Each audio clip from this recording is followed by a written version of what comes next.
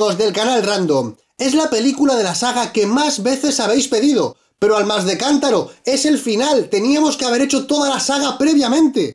Hoy llegamos con un crossover épico. Hablaremos de... Freddy contra Jason. Dentro vídeo. Comenzamos con un prólogo a modo de resumen, en el que Freddy nos cuenta que no puede volver porque le han olvidado y que buscó en el infierno la forma de regresar. Está claro que se refiere a Jason, el cual está soñando con su deporte favorito, matar a bañistas desnudas, que cuando vuelven a buscar su ropa está de forma distinta. Freddy se hace pasar por su madre, para ordenarle que resucite y vaya a Elm Street.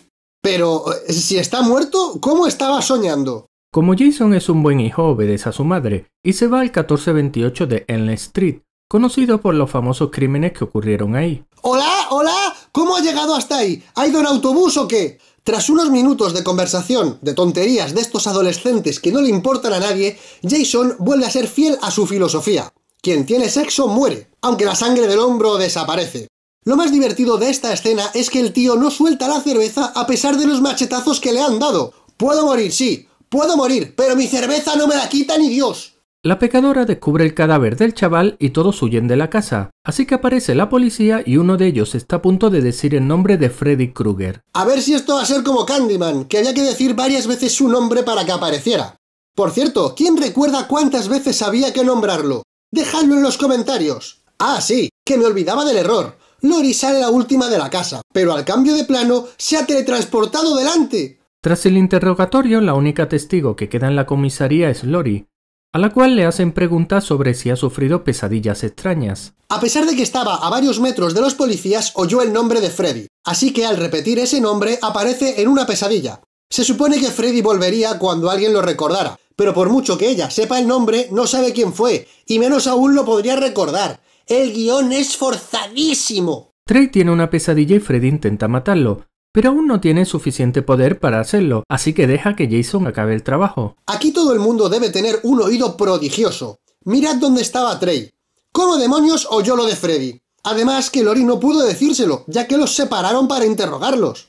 Vamos a ver, Freddy Krueger, alma de cántaro. Este tío ya sabía de tu existencia. ¿No habría sido mejor dejarlo vivo? Cuanta más gente te recuerde, más poderoso te harás. Will era el novio de Lori y está internado en un hospital psiquiátrico con Mark, a los cuales tratan con Hipnosil, que es el medicamento que vimos en la tercera película que impide tener sueños. En un vaso tiene la pastilla y en el otro tiene el agua, pero vemos que en el mostrador solo hay un vaso y antes de que lo preguntéis ya os digo que no lo tiene en la mano. Mark consigue robar unas llaves que le permiten huir del psiquiátrico, aunque vemos que en el plano detalle las llaves están distribuidas de otra forma. Parece que la policía y el padre de Lori son los responsables de que Will y Mark estén encerrados, y ya se han enterado de su vida. El padre echa hipnocil en el zumo de Lori. Venga, hombre, disimula un poco que tienes el bote ahí, a la vista de todos. La chica no se toma el zumo, y va al instituto donde dice delante de todo el mundo que ha soñado con Freddy. A ver si reconocéis a la chica del fondo. ¡Música de Tetris!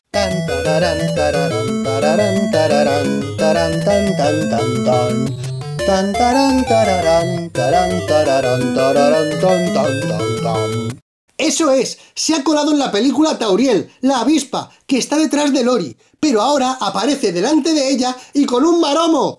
¡Realismo! Will y Mark investigan en la biblioteca y descubren que no hay nada sobre Freddy Krueger, con lo que sospechan que han borrado todo lo sucedido para que nadie pueda recordarlo y vuelva. Mientras tanto, Lori está ingresada por el desmayo que sufrió en el instituto, donde vemos que el cartel que hay en el mostrador de esta simpática enfermera desaparece. Durante la fiesta, una de las amigas de Lori se desmaya, así que empieza a soñar con Freddy, pero cuando está a punto de matarla se adelanta Jason, que además lanza por los aires a este abusador. Jason se mantiene fiel a los clichés del cine de terror. Quien fuma porrinos muere. La carnicería sigue y mata a todos los que puede, aunque no los toque, como este de aquí, que empieza a sangrar, cuando en realidad le ha dado un machetazo al barril de cerveza.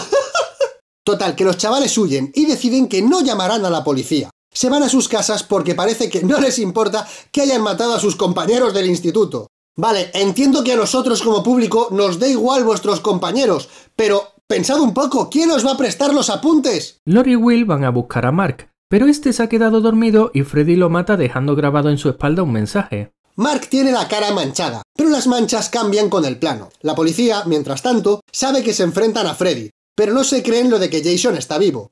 así que decretan el toque de queda para los menores. Stubbs encuentra dónde se esconden Will y sus amigos. Tras un rato de charla llegan a la conclusión de que necesitan hipnocil para no soñar. Will guía a sus amigos al centro donde lo tenían internado y entran usando la tarjeta que le robó Mark a un calvo malvado. Pero ojo a esto, el policía entra también con ellos, con dos cojones. Allanamiento. Pero a ver, ¿qué mal ejemplo estás dando? Luego nos extraña que tomen drogas. Mientras buscan las pastillas, Bill tiene una especie de alucinación y Freddy se mete dentro de su cuerpo para controlarlo y deshacerse del hipnosil. Pero ¿cómo se metió Freddy dentro de él si el porreta no estaba dormido? ¿Qué tipo de droga es esa que atraviesa dimensiones? ¿Y por qué si le hizo una herida en la cara, luego ha desaparecido? Jason intenta matar al policía, pero al fallar el golpe se electrocuta, aunque consigue agarrar a Staff, que ahora sí que muere. Le está bien empleado, por saltarse la ley. Jason clava el machete en el panel, pero vemos que ahora está en otro sitio. También vemos que el que ha montado los efectos especiales de esta escena llevaba unas copas de más. Quizás así entendamos por qué veía doble. Pero lo que no consigo entender es por qué ponen un especialista con el pelo negro cuando el policía era rubio. ¡Cutres! ¡Chapuceros! Freddy sigue en el cuerpo de Billy y consigue inyectarle tranquilizante a Jason para poder meterse en sus sueños. A pesar de que han cortado a Bill por la mitad, el cuerpo va a su bola y está en distinta posición en cada plano. Pero por fin llega el gran momento. Tras una hora y cinco minutos de personajes que no nos importaban nada, vemos por qué la película se llama Freddy contra Jason. El plan es llevarse a Jason a Crystal Lake y darle tranquilizantes a Lori para que se quede dormida y traiga a Freddy al mundo real. Pero Jason se despierta antes de tiempo. Pues pasa lo que tenía que pasar.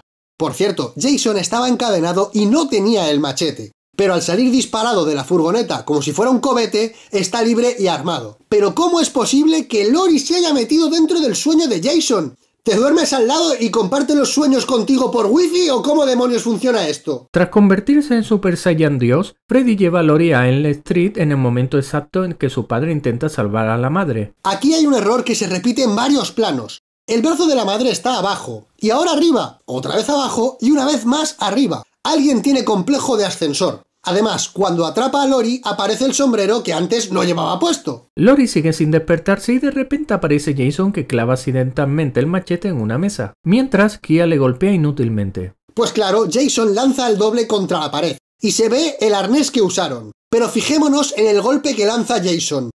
¡Eso es! ¡No le da! Encima vemos que Jason no es un patriota. Tras quemarse la mano, Lori despierta y trae a Freddy a Crystal Lake, el cual está bastante acojonado. Se supone que en el mundo real Freddy es un humano random, pero vemos que no le pasa nada ni con los golpes que recibe, ni cuando vuela una, dos, tres, cuatro,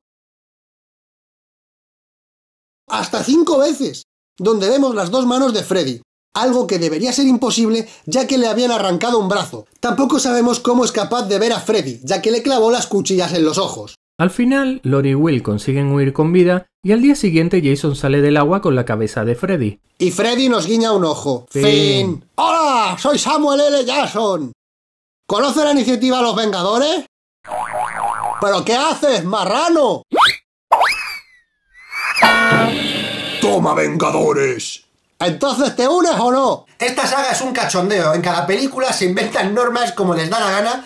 Y yo la verdad no entiendo cómo ha habido tantas partes cuando de verdad no tienen, no tienen continuidad. Nos cambian las normas constantemente. No se correlacionan las, las normas de Freddy y la ciudad. Todo cambia, no se mantiene igual. Menudo, menudo disparate de saga, en fin. Bueno, eh, ya hemos terminado la saga de Freddy Krueger. Únicamente nos quedaría el remake este que hicieron hace poco con Rorschach. Que bueno, eh, no estaba en nuestros planes, pero si lo queréis, pues ya sabéis. Echaos likes, dadle al botón, que no se gasta. Hay que llegar, que llegar, que llegar, que llegar a los 10 minutos todos. Porque si no YouTube no nos deja poner más anuncios. Recordad que si os ha gustado el vídeo, dadle un like. Y si no conocías el canal, suscríbete ahora, que es gratis. ¡Hasta luego!